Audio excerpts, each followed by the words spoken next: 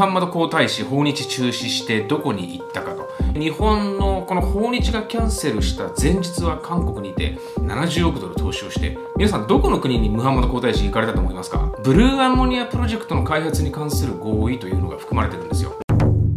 こんにちは、カズです。越境3.0ということで今日も始まりました。越境3.0チャンネル。本日もどうぞよろしくお願いします。え、まずはセミナーのご案内からです。長岡セミナーコーヒー座談会開催。エネルギー問題と揺らぐ世界のパワーバランス。事前申し込み制30名様限定です。2022年12月3日土曜日13時スタートです。詳細と参加申し込みは概要欄の方からどうぞよろしくお願いします。え、こちら席数間もなくわずかとなってまいりました。え、新潟長岡近辺の皆様ぜひ遊びにいらしてください。参加費無料となっております。間もなく満席となりますのでお早めにお申し込みください。皆さんの参加をお待ちしております。どうぞよろしくお願いします。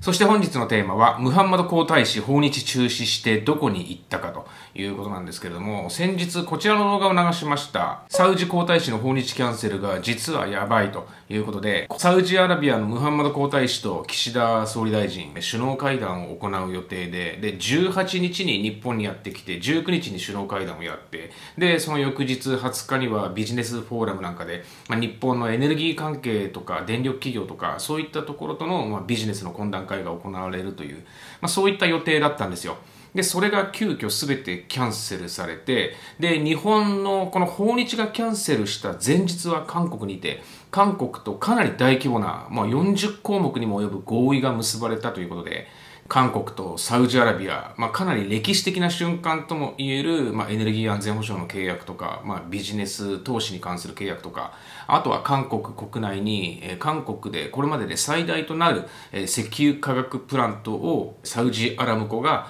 え、70億ドル投資をして過去最大のプラントを建設すると。サウジアラビア側の投資でね。そういうようなことが発表されたんですよ。で、日本は韓国に先越されちゃったな、これちょっとやばいなというような、まあそういった内容の動画を流したんですけれども、この訪日キャンセルされて、ムハンマド皇太子はどこにいたのか、これ意外と日本のメディアでは報道されてなくて、今日はそんなお話をしていきたいと思います。まずはこちらのニュースです。サウジアラビアと対エネルギーに関する画期的な合意に署名ということで、こちらサウジアラビアのメディア、アラブニュースの11月20日のニュース記事。このアラブニュースの記事によると、サウジアラビアとタイは18日、ムハンマド・ビン・サルマン皇太子殿下のバンコク訪問の際、エネルギー協力と再生可能電力に関する画期的な合意に署名したと。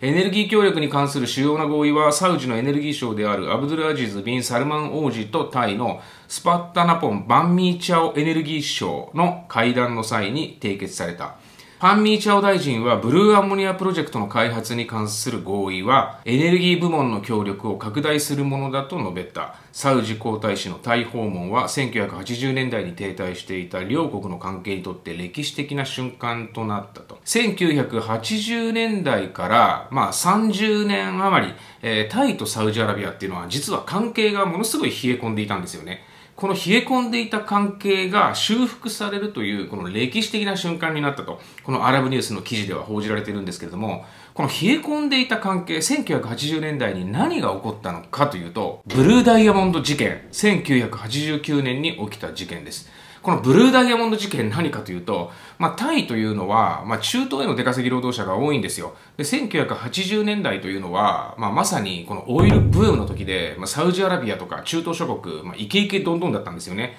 で、その時に、まあ、アジアからの出稼ぎ労働者がたくさんサウジアラビアにもやってきて、まあ、一時期は40万人のタイからのサウジアラビアへの出稼ぎ労働者が来ていたというぐらい、まあ、ものすごいタイ人が多かったんですよ。で、他にフィリピン人とかバングラデシュ人、インド人とかも多いんですけれども、まあ、タイ人の出稼ぎ労働者がその当時一番多かった。まあ、その時にサウジアラビア王族のまあお手伝いとして出稼ぎ労働者に来ていたタイ人が、王子が長期の休暇旅行に行ってる間に、その王子の寝室に入り込んで、まあ、宝石類をもう全て盗んで母国のタイに送ったという事件。これがブルーダイヤモンド事件なんですね。で、その中に入っていた宝石の多くがこのブルーダイヤモンドというもうかなり高価なもので、それがもう全て盗まれたと。重量にして100キロ近くのもう宝飾品類が盗まれたということだったので、お金にすると相当な額だったと思うんですよね。で、それがまあタイ人のお手伝いさんによって盗まれてタイに送られて、彼はまお手伝いさんを辞めてタイに戻って、まあそれら送られたま宝石類をタイで販売することになるんですけど、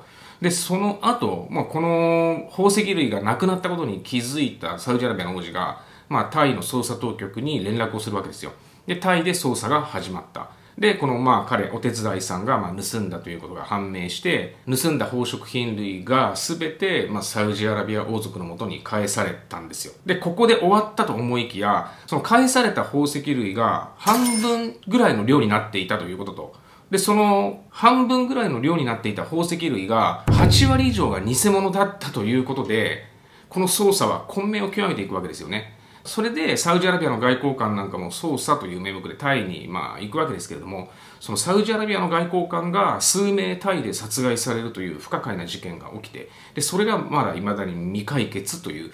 それがブルーダイヤモンド事件という1989年に起きたタイとサウジアラビアの事件なんですよね。でそういった外交官が何名か殺害されたということとか、返却された宝石の、まあ、8割が偽物だったということとか、まあ、そういったことが発端となってサウジアラビアとタイの関係というのがま急速に冷え込んでいくわけですよね。でそういったブルーダイヤモンド事件があって以来、まあ、30年余りの間冷え込んでいたサウジアラビアとタイの関係が一気に仲直りをしたというような、まあ、今年の1月にね一旦、まあ、仲直りはしているんですけれども、まあ、そのまだ若干ギクシャクが残っていたところが今回のムハンマド皇太子の包帯によって両国の関係が、まあ、良好に進んでいくこの歴史的な瞬間となったと。このニュースによると、まあ、この歴史的な瞬間となったということ以外に、ブルーアンモニアプロジェクトの開発に関する合意というのが含まれてるんですよ。ブルーアンモニアって何かというと、石油から作られる CO2 排出量ゼロの新しい石油燃料なんですよ。日本はこのブルーアンモニア燃料を世界で初めてサウジアラビアから輸入をして、これを日本で実証実験を進めて、日本がこのブルーアンモニアという新しいその次世代燃料のリーダーシップ的な役割を取っていくと、主導権を握っていくということが安倍政権の時に発表されていたんですよね。で、それを、まあ、菅政権も引き継いで、ブルーアンモニアの実証実験に関しては非常に力を入れてきたんですよ。今から2年前なんですけれども、2020年の9月28日、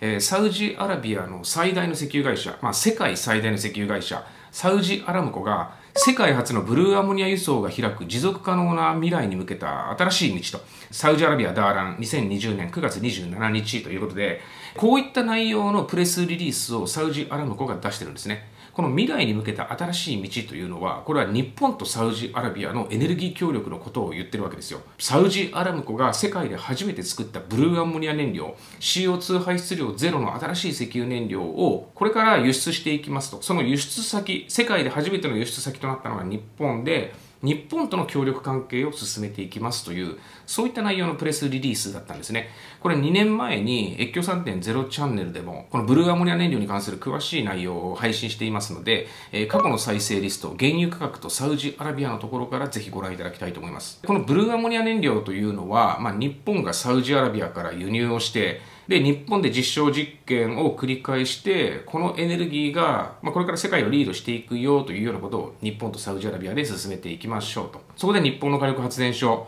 えー、郡山と横浜と相生、この3カ所で実証実験が進んでいきますということが、サウジアラムコのプレスリリースでも発表されているし、日本でも菅政権の時に非常に大々的に、まあ、内閣府とかが発表していたというぐらい、まあ、これからの日本を変えていくかもしれない、世界のエネルギー業界をリードしていくかもしれない日本とサウジアラビアの新しい試みなんですよということが発表されたわけですよね。そのブルーアンモニア燃料が今回サウジアラビアご一行がタイを訪問して、タイとサウジアラビアでブルーアンモニア燃料の協力関係に関する覚書を交わしたという、まあ、言ってみれば日本がもたもたしている間に、まあ、どんどんどんどん他の国々がサウジアラビアにアプローチをかけて、うちでもブルーアンモニアをやらせてくださいと。ブルーアンモニアで電力を作りたいんです。そのようなことが起きていると。日本のエネルギー安全保障というのは、日本は化石燃料の輸入国ですから、海外にま依存するというのが、まあ、今のところやむを得ない選択肢ではあるんだけれども、まあ、地熱とかメタンハイドレートとか、まあ、日本国内で取れる資源というのもまあいくつかあるけれども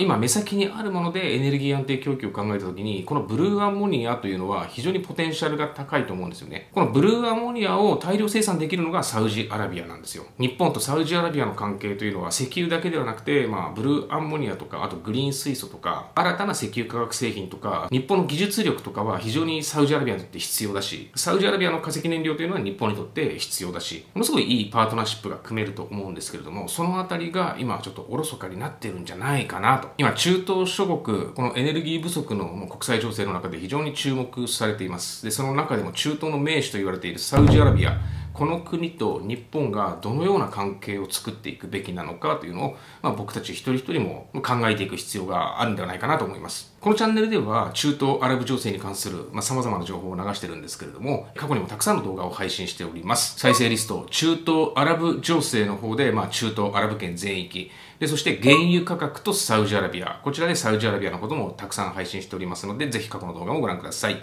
越境3.0チャンネルではこういった世界の情報をお届けしております。毎日夜8時に更新しています。世界の情報をもっと知りたいなと思った方は、ぜひチャンネル登録いただけると嬉しいです。本日も最後までご覧いただいてありがとうございました。せーの、Here we go!